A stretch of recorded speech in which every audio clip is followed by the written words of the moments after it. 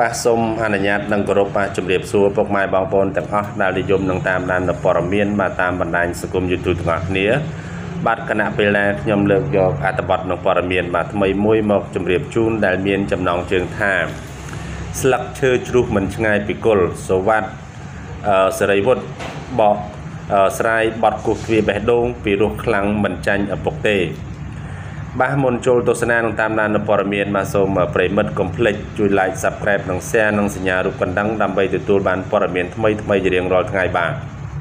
Facebook មហាជនពុទ្ធជាបានស្គាល់កូនប្រុសលោកព្រាបសវັດសវັດ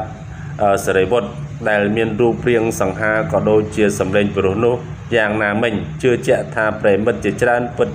ជាធ្លាប់បានស្ដាប់រួចមកហើយមើលទៅ នៅបត់គោះទ្វារបេះដូងដែលជាសំនៀងដើមរបស់លោកព្រាបសវັດក្នុងផលិតកម្មរស្មីហងមាសមកទល់សពថ្ងៃនេះបត់នេះនៅតែទទួលបានការគ្រប់គ្រងដដែលពីមហាជនទូទៅដោយគេតែងតែលឺចាក់ដោតក្នុងកម្មវិធីតូចធំដែលមិនចង់ដាច់នោះមកដល់ថ្ងៃទី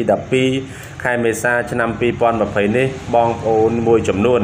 ពិតជាមានការភ្ញាក់ផ្អើលក្រោយពីបានស្គាល់បទនេះម្ដងទៀតដែលជាការបកស្រាយដោយអឺ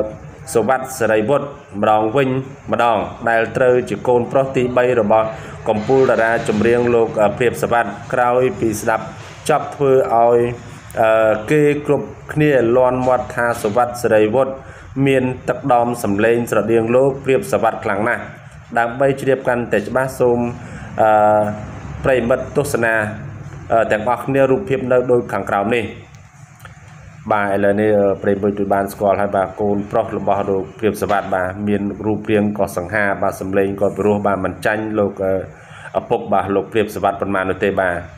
នេះគេហៅថាស្លឹកឈើជ្រុះមិនឆ្ងាយពីគល់បាទបាទសូមថ្លែងអំណរគុណប្រិមិត្តដែលបានតាមដានព័ត៌មានបាទសូមអរគុណនិងសូមជម្រាបលា